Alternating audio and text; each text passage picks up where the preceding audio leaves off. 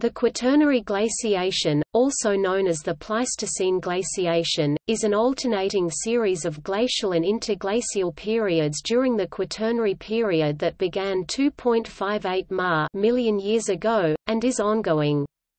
Although geologists describe the entire time period as an ice age, in popular culture the term ice age is usually associated with just the most recent glacial period.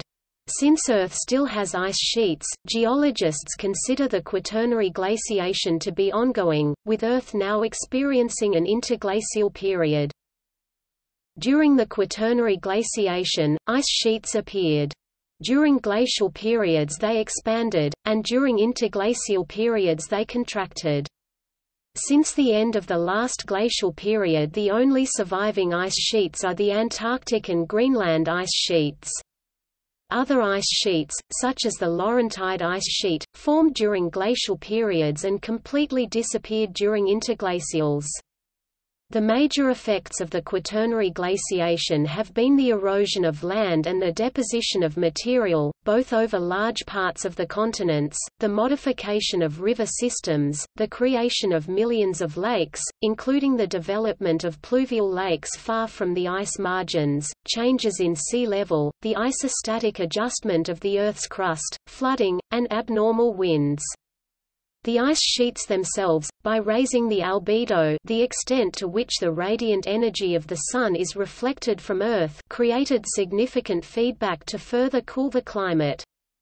These effects have been reshaping entire environments on land and in the oceans, and their associated biological communities.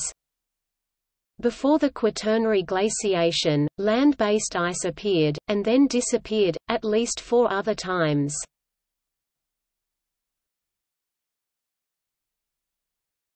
Topic: Discovery. Evidence for the Quaternary glaciation was first understood in the 18th and 19th centuries as part of the scientific revolution.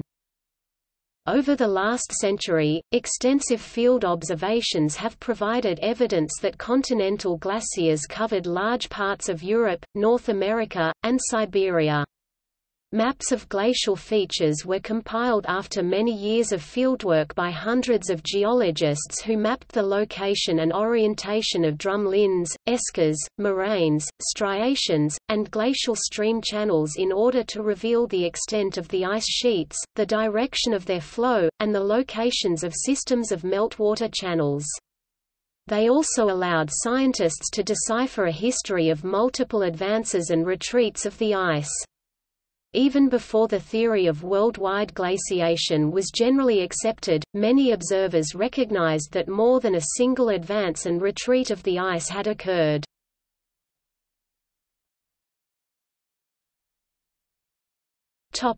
Description To geologists, an ice age is marked by the presence of large amounts of land-based ice. Prior to the Quaternary glaciation, land-based ice formed during at least four earlier geologic periods, the Karoo 360 to 260 ma, Andean Saharan 450 to 420 ma, Cryogenian 720 to 635 ma, and Huronian 2400 to 2100 ma. Within the Quaternary period or Ice Age, there were also periodic fluctuations of the total volume of land ice, the sea level, and global temperatures. During the colder episodes referred to as glacial periods, or simply glacials large ice sheets at least 4 km thick at their maximum existed in Europe, North America, and Siberia. The shorter and warmer intervals between glacials, when continental glaciers retreated, are referred to as interglacials.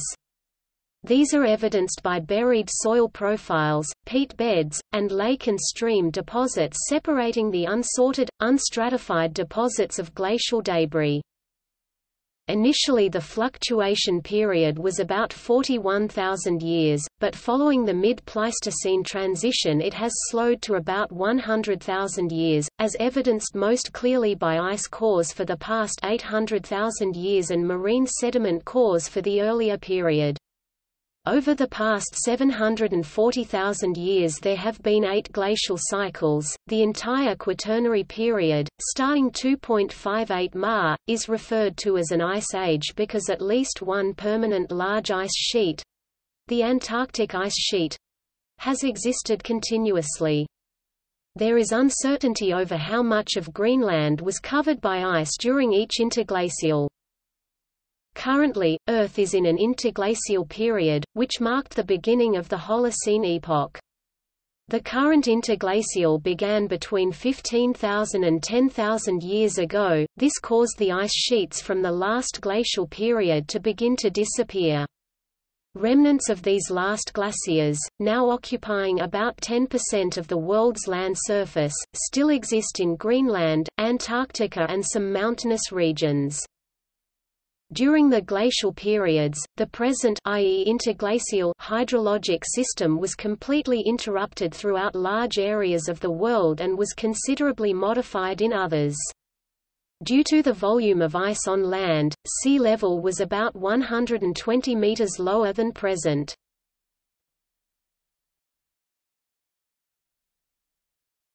Topic: Causes Earth's history of glaciation is a product of the internal variability of Earth's climate system e.g., ocean currents, carbon cycle, plus the effects of external forcing due to phenomena external to the climate system e.g., changes in Earth's orbit, volcanism, and changes in solar output.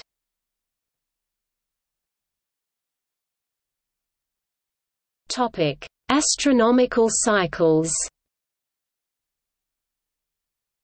The role of Earth's orbital changes in controlling climate was first advanced by James Croll in the late 19th century. Later, Milutin Milanković, a Serbian geophysicist, elaborated on the theory and calculated that these irregularities in Earth's orbit could cause the climatic cycles now known as Milankovitch cycles. They are the result of the additive behavior of several types of cyclical changes in Earth's orbital properties. Changes in the orbital eccentricity of Earth occur on a cycle of about 100,000 years.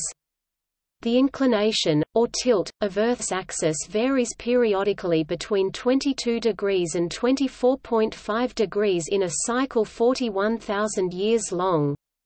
The tilt of Earth's axis is responsible for the seasons, the greater the tilt, the greater the contrast between summer and winter temperatures. Precession of the equinoxes, or wobbles of Earth's spin axis, have a periodicity of 26,000 years. According to the Milankovitch theory, these factors cause a periodic cooling of Earth, with the coldest part in the cycle occurring about every 40,000 years. The main effect of the Milankovitch cycles is to change the contrast between the seasons, not the overall amount of solar heat Earth receives. The result is less ice melting than accumulating, and glaciers build up. Milankovitch worked out the ideas of climatic cycles in the 1920s and 1930s, but it was not until the 1970s that a sufficiently long and detailed chronology of the quaternary temperature changes was worked out to test the theory adequately. Studies of deep-sea cores, and the fossils contained in them, indicate that the fluctuation of climate during the last few hundred thousand years is remarkably close to that predicted by Milankovitch. A problem with the theory is that these astronomical cycles have been in existence for many millions of years, but glaciation is a rare occurrence. Astronomical cycles correlate with glacial and interglacial periods, and their transitions, within a long-term ice age but do not initiate these long-term ice ages.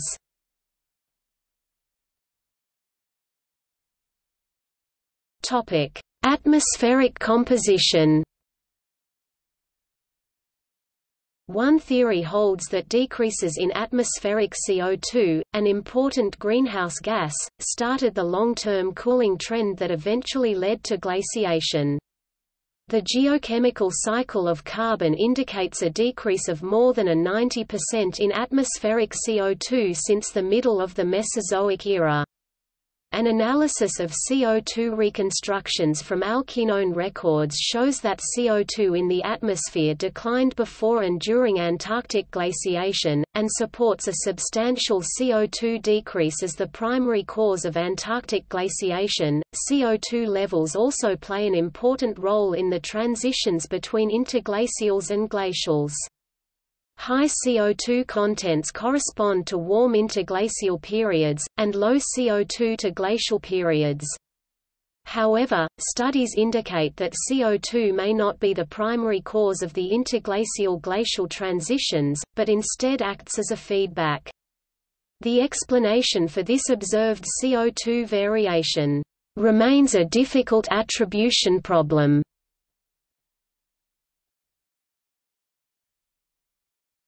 Topic: Plate tectonics and ocean currents. An important component in the development of long-term ice ages is the positions of the continents. These can control the circulation of the oceans and the atmosphere, affecting how ocean currents carry heat to high latitudes. Throughout most of geologic time, the North Pole appears to have been in a broad, open ocean that allowed major ocean currents to move unabated. Equatorial waters flowed into the polar regions, warming them. This produced mild, uniform climates that persisted throughout most of geologic time. Throughout the Cenozoic era, the large North American and South American continental plates moved westward from the Eurasian plate. This drift interlocked with the development of the Atlantic Ocean, trending north-south, with the North Pole in the small, nearly landlocked basin of the Arctic Ocean. The Isthmus of Panama developed at a convergent plate margin about 3 million years ago, and further separated oceanic circulation, closing the last strait, outside the polar regions, that had connected the Pacific and Atlantic Oceans.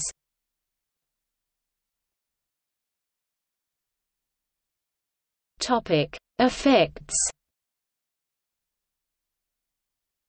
The presence of so much ice upon the continents had a profound effect upon almost every aspect of Earth's hydrologic system. The most obvious effects are the spectacular mountain scenery and other continental landscapes fashioned both by glacial erosion and deposition instead of running water. Entirely new landscapes covering millions of square kilometers were formed in a relatively short period of geologic time. In addition, the vast bodies of glacial ice affected Earth well beyond the glacier margins. Directly or indirectly, the effects of glaciation were felt in every part of the world.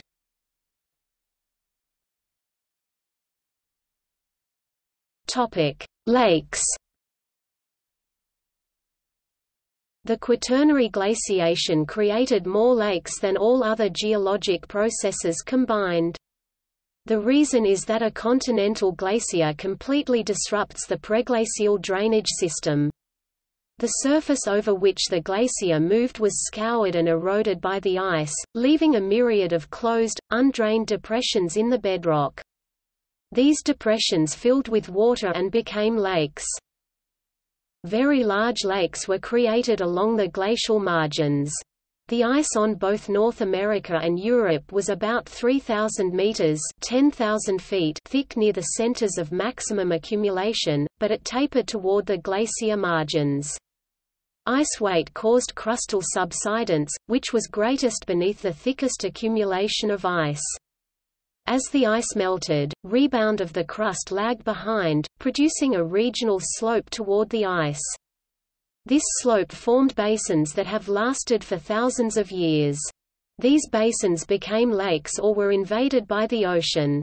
The Baltic Sea and the Great Lakes of North America were formed primarily in this way. The numerous lakes of the Canadian Shield, Sweden, and Finland are thought to have originated at least partly from glaciers' selective erosion of weathered bedrock.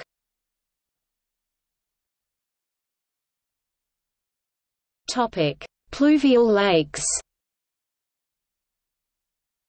The climatic conditions that cause glaciation had an indirect effect on arid and semi-arid regions far removed from the large ice sheets.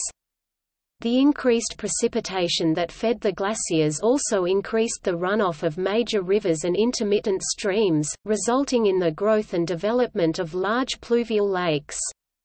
Most pluvial lakes developed in relatively arid regions where there typically was insufficient rain to establish a drainage system leading to the sea. Instead, stream runoff flowed into closed basins and formed playa lakes. With increased rainfall, the playa lakes enlarged and overflowed. Pluvial lakes were most extensive during glacial periods. During interglacial stages, with less rain, the pluvial lakes shrank to form small salt flats.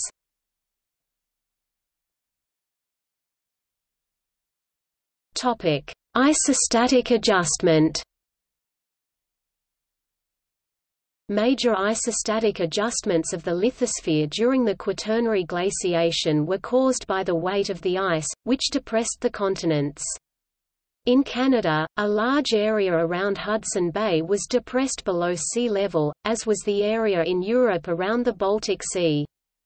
The land has been rebounding from these depressions since the ice melted. Some of these isostatic movements triggered large earthquakes in Scandinavia about 9,000 years ago. These earthquakes are unique in that they are not associated with plate tectonics. Studies have shown that the uplift has taken place in two distinct stages. The initial uplift following deglaciation was rapid called elastic and took place as the ice was being unloaded. After this elastic phase, uplift proceed by slow viscous flow, so the rate decreased exponentially after that.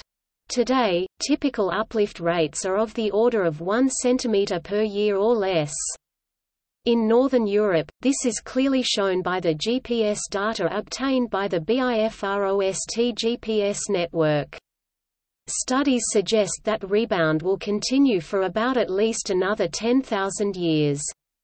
The total uplift from the end of deglaciation depends on the local ice load and could be several hundred meters near the center of rebound.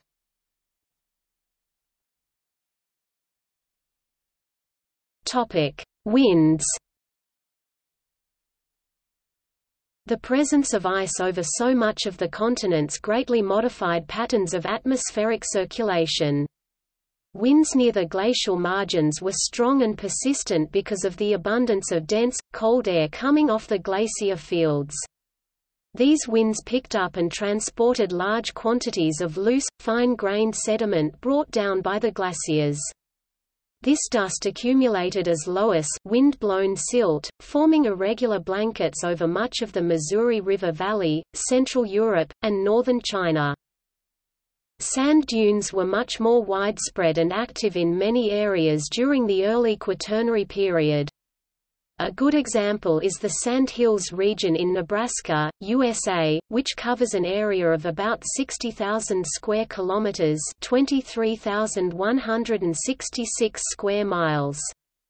This region was a large, active dune field during the Pleistocene epoch, but today is largely stabilized by grass cover.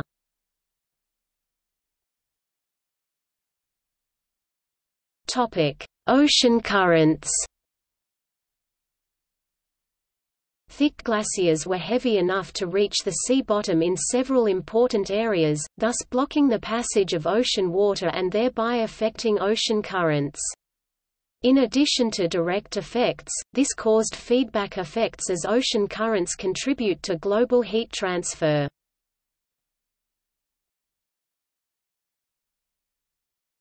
Topic: Records of prior glaciation Glaciation has been a rare event in Earth's history, but there is evidence of widespread glaciation during the late Paleozoic era 300 to 200 Ma and the late Precambrian i.e. the Neoproterozoic era 800 to 600 Ma. Before the current ice age, which began 2 to 3 Ma, Earth's climate was typically mild and uniform for long periods of time. This climatic history is implied by the types of fossil plants and animals and by the characteristics of sediments preserved in the stratigraphic record. There are, however, widespread glacial deposits, recording several major periods of ancient glaciation in various parts of the geologic record. Such evidence suggests major periods of glaciation prior to the current Quaternary glaciation. One of the best documented records of pre-Quaternary glaciation, called the Karoo Ice Age, is found in the late Paleozoic rocks in South Africa, India, South America, Antarctica, and Australia. Exposures of ancient glacial deposits are numerous in these areas. Deposits of even older glacial sediment exist on every continent except South America. These indicate that two other periods of widespread glaciation occurred during the late Precambrian, producing the snowball Earth during the Cryogenian period.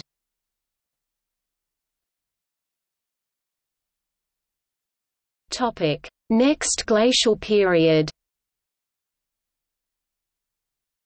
The warming trend following the last glacial maximum, since about 20,000 years ago, has resulted in a sea level rise by about 130 meters. This warming trend has subsided about 6,000 years ago, and sea level has been comparatively stable since the Neolithic. The present interglacial period the Holocene has been fairly stable and warm, but the previous one was interrupted by numerous cold spells lasting hundreds of years. If the previous period was more typical than the present one, the period of stable climate, which allowed the Neolithic Revolution and by extension human civilization, may have been possible only because of a highly unusual period of stable temperature. Based on orbital models, the cooling trend initiated about 6,000 years ago will continue for another 23,000 years. Slight changes in the Earth's orbital parameters might however indicate that, even without any human contribution, there will not be another glacial period for the next 50,000 years. It is possible that the current cooling trend may be interrupted by an interstadial in about 60,000 years, with the next glacial maximum reached only in about 100,000 years, based on past estimates for interglacial durations of about 10,000 years. In the 1970s, there was some concern that the next glacial period would be imminent. However, slight changes in the eccentricity of Earth's orbit around the Sun suggest an extended interglacial for about 50,000 years. Additionally, human impact is now seen as possibly delaying what would already be an unusually long warm period. Projection of the timeline for the next glacial maximum depend crucially on the amount of CO2 in the atmosphere. Models assuming increased CO2 levels at 750 parts per million ppm, current levels are at 407 ppm have estimated the persistence of the current interglacial period for another 50,000 years. However, more recent studies concluded that due to the amount of heat-trapping gases emitted into Earth's oceans and atmosphere, that this will prevent the next glacial ice age, which otherwise would begin in around 50,000 years, and likely more glacial cycles.